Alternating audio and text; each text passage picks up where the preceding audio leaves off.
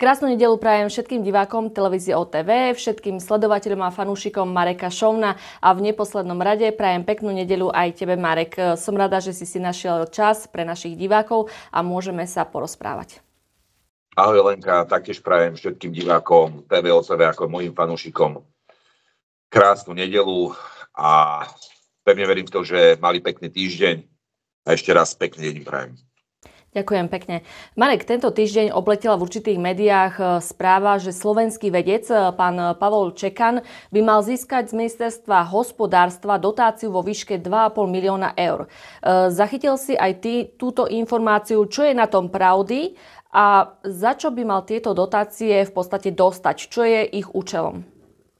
Čiže áno, táto zmluva už je na centrálnom registri zmluvy, tam sú má skoro 2,5 milióna eur pre nazvime ho vedca, čeka na firmu Multiplex DX, táto suma 2,5 milióna eur. Je to vlastne, objednávateľom je úrad vlády Slovenskej republiky v zastúpení Ministerstva hospodárstva Slovenskej republiky. Tieto financie pôjdu z európskych, európskych peňazí, čiže Slovensku republiku to v kvázi nebude stať nič, ale aj tak táto zmluva je niečo také, je to projekt s názvom Prospektívna klinická validácia vysoko presného diagnostického testu na rakovinu prsníka, ktorá určuje efektívnu personalizovanú liečbu, predpovedanú a odpoveď na terapiu a prognóza ochorenia tohto, tohto ochorenia. Hovorím, je to hradené z Európskej únie, ale ja si kladiem otázku, či nebola nejaká iná firma na Slovensku, ktorá by to dokázala pretože všetci veľmi dobre, dobre vieme, čo bol Pavol Čekan zač, ako osočoval Slovákov, tých, ktorí sa nenechali v, tej, v tom covid šialenstve, v tej covid kríze, covid fašizme zaočkovať, ako voči ním útočil, ako presadzoval toto povinné očkovanie, ktoré už teraz dva roky po tomto očkovaní vieme, že nebolo až také, ako nám rozprávali média.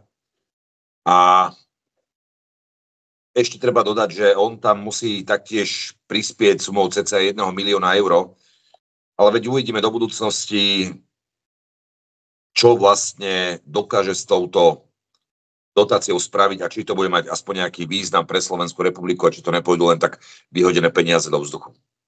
Odchádzajúca prezidentka Zuzana Čaputová navštívila v piatok eh, Kiev. V podstate sa jednalo o jej eh, rozlúčkové stretnutie, keďže už onedlho končí jej mandát. Eh, Čaputová v Kieve vyzdvihla pomoc Slovákov, Slovákov a nezlomnosť Ukrajincov. Marek, prekvapilo ťa, že súčasťou jej delegácie v Kieve boli aj organizátori občianskej zbierky Munícia pre Ukrajinu? No skôr by ma neprekvapilo, keby ich tam nezobrala to by ma skôr prekvapilo, keby ich tam nezobrala. Čiže to, že Zuzana Čaputová naštívila Ukrajinu aj s týmito organizátormi zbierky, sa absolútne nedivím. Totiž to, túto zbierku som už rozoberal, však aj ty sama dobre vieš, som podal trestné oznámenie, či už na polícii, aj na generálnej prokuratúre na preverenie tejto zbierky, pretože táto zbierka by sa mala riadiť taktiež zákonom o verejných zbierkach. A ani v jednom bode sa táto zbierka nejedná o v tomto zákone, nefunguje v tomto zákone, pretože som ani nikde na verejnosti nenašiel, že by bola nejak vyhlásená táto verejná zbierka a niekde zapísaná. Čiže podľa mňa je to fejková zbierka a už to dokázali tým, že počas prvých 12 dní vyzbierali cca 4 milióny eur. A za ďalších 12 dní na to už, vy, už vyzbierali len 186 tisíc eur. Čiže podľa mňa je to pod touto zbierkou a pevne verím v to, že orgány v trestnom konaní preveria túto zbierku a mali by súdom zastaviť túto, zbier- túto zbierku. Ostaňme ešte na chvíľku pri Zuzane Čaputovej. E, prezidentka Slovenskej republiky v piatok počas rozlúčkovej návštevy e, Ukrajiny e, prebrala z rúk Zelenského najvyššie ukrajinské štátne vyznamenanie rád Jaroslava Múdreho prvého stupňa. Ukrajinskému prezidentovi zase udelila slovenské štátne vyznamenanie rád Bieleho dvojkríža prvej triedy. E, je to v závere mandátu prezidenta bežne zaužívaná prax, aby sa tieto e, vyznamenania udeľovali odchádzajúcemu prezidentovi, v našom prípade e, prezidentke, alebo to boli naštandardné vzťahy medzi týmito prezidentskými kolegami? Tak toto sú očividne nadštandardné vzťahy medzi Zuzanou Čaputovou a diktátorom Zelenským, pretože ja si nepamätám, keby, keď pán eh, Gašparovič odchádzal, alebo akýkoľvek iný prezident rozdávali si takéto vyznamenania. Ale treba si uvedomiť fakt, že Zuzana Čaputová tento, nazvime to, toto vyznamenanie, rad Jaroslava Múdreho prvého stupňa, ktoré dostala na Ukrajine, dostala právom pretože za posledné 2,5 roka Zuzana Čaputová spravila pre Ukrajincov oveľa, oveľa viac ako pre občanov Slovenskej republiky.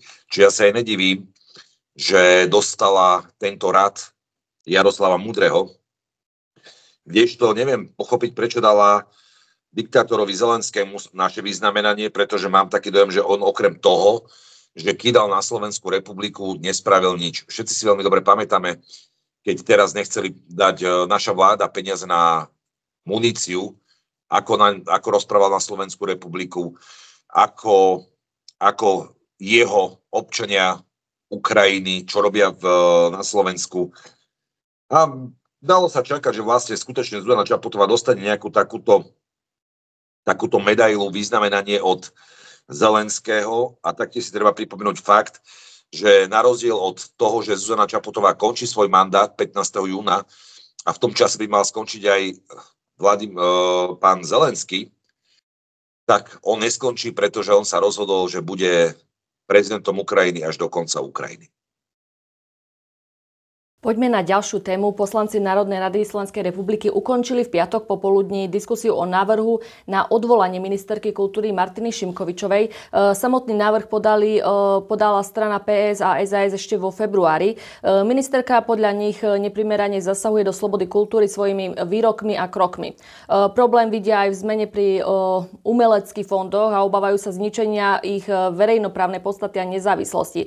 Očakáva sa, že samotné odvolanie by malo prebehnúť e, v útorok, ak sa nemýlim, o 11. hodine, kde sa bude hlasovať o tomto návrhu. E, Marek, e, prekvapenia sa asi tu nebudú chystať a koalícia bude jednotná, alebo sa mýlim? Tak som presvedčený o tom, že koaličná zmluva jasne hovorí, čo majú robiť poslanci Národnej rady, koaliční poslanci Národnej rady, čiže majú držať jeden za druhým.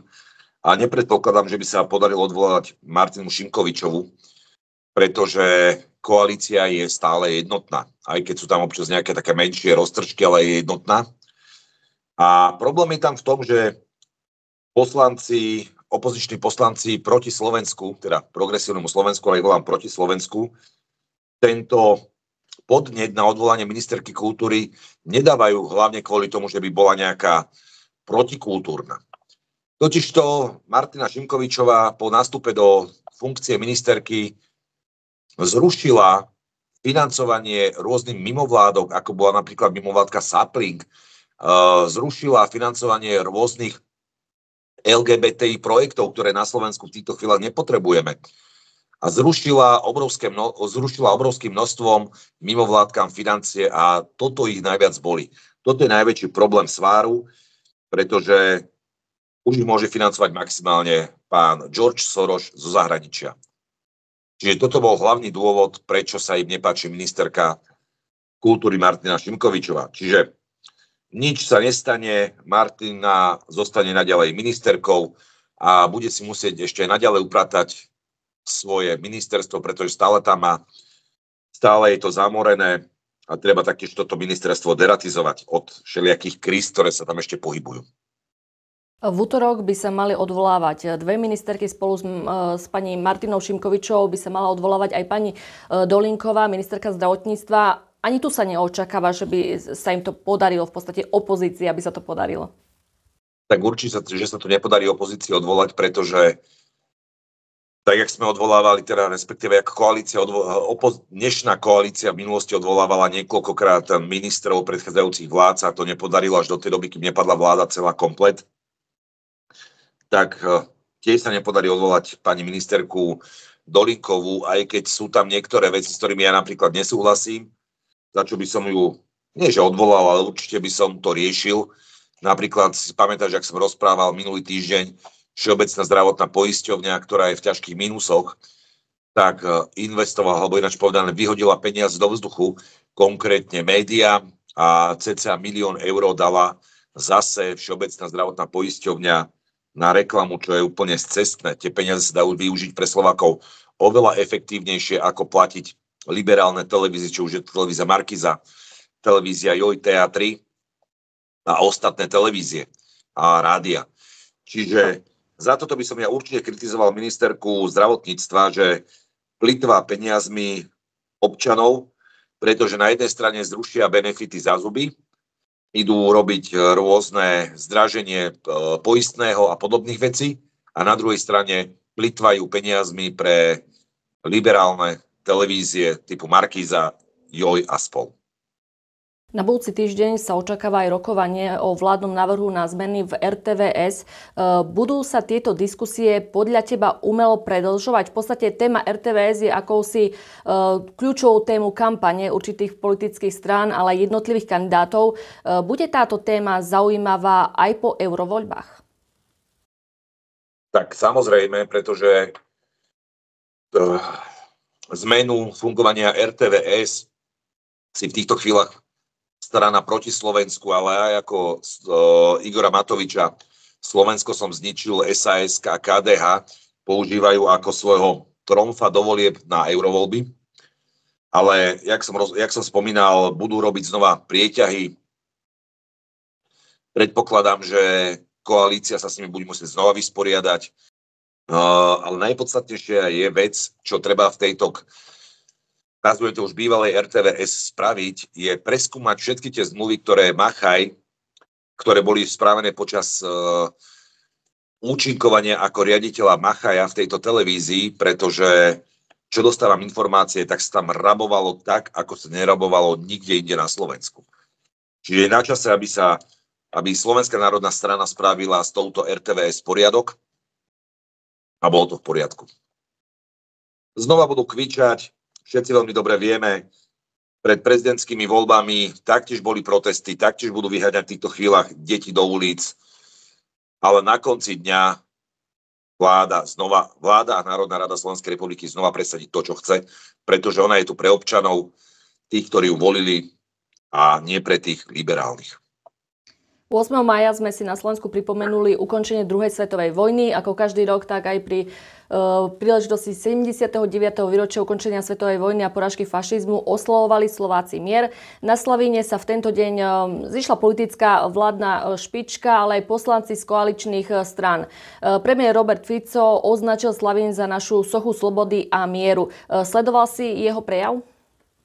Áno, dokonca bol som tam osobne, pozeral som to, bola tam perfektná atmosféra na rozdiel od toho, ako, aká bola atmosféra v predchádzajúcich dvoch rokoch, keď e, Slavín bol vysvietený na žlto-modro, konkrétne minulý rok. Tento rok tam bola, boli vence, prišli tam veľvyslanci, myslím, z Bieloruska, Ruskej federácie, myslím, že z Číny tam boli, z čínskeho veľvyslanectva. A atmosféra tam bola perfektná, bolo tam aj obrovské množstvo ľudí. Uctili sme si 8. maj tak, ako sa patrí pretože treba si povedať skutočne za to, že tu dneska slobodne beháme, dýchame, môžeme hlavne vďaka hrdinom Červenej armády a Sovietskému zväzu. Na tom sa nič nezmení. Slovenskú republiku a časť Českej republiky oslobodila Červená armáda, žiadne Nemecko, teda pardon, žiadni spojenci. Premiér Robert Fico tam mal perfektný prejav, ktorí žiaľ už kritizovali v Českej republike, pretože sa im to nepáčilo, pretože oni už v Českej republike tvrdia, že nie Červená armáda porazila fašizmus, ale Spojené štáty americké, čo je úplne cestné. Chcel by som ešte podotknúť, vence sa tam, prinieslo sa tam obrovské množstvo vencov, tie vence tam ostali. A včera 10. mája tam prišli Ukrajinci ktorí pravdepodobne už nemajú na tie vence peniaze, alebo ja neviem si to ináč predstaviť, ale na každý ten venec, ktorý tam bol, prilepili ukrajinské stužky s handlivými výrazmi voči Ruskej federácii. A teraz si kladem otázku, či nemajú už na tie vence, pretože všetky peniaze minuli na zbrane, alebo to spravili zámerne, aby takto zneúctili tie vence, ktoré priniesli či už veľvyslanci Ruskej federácie, čínska, čínskej, bieloruskej, aby takto zneúctili ich vence, ktoré tam pokladli týmto hrdinom, ktorí padli počas druhej svetovej vojny. Samozrejme, boli vypustené holubice mieru, preleteli miesto stíhačiek tri vrtulníky, stíhačky nám odleteli na Ukrajinu vďaka Jaroslavovi Naďovi. Takže bol to ozaj nádherné niečo a takto si treba každý rok uctiť pamiatku tých, ktorí položili život za oslobodenie Československa. Poďme na poslednú tému. Začiatkom týždňa viaceré školy po celom Slovensku zaznamenali e, vyhrážky bombovým útokom. Neznámy páchateľ totiž e, nahlásil na školách e, vo všetkých krajoch uloženie výbušnín. Uplynulo od toho nahlásenia už zo pár dní. Vie sa k tomu prípadu už viac informácií, ako tomu bolo na začiatku? Určite áno. A ďalšia podotázka, či sa teraz budú zavádzať aj nové opatrenia pre bezpečnosť na školách? Tak eh, žijeme v takej bláznivej dobe, kde v minulosti, ja si pamätám, keď boli nahlasované tieto útoky alebo na, na, nahlasené bomby na školách alebo na úradoch, sa to robilo cez telefón. Telefón sa dal ako vystupovať, vy dokázal sa zmapovať, či už telefónne číslo alebo IP adresa mobilného telefónu, či ľahko sa našiel páchateľ.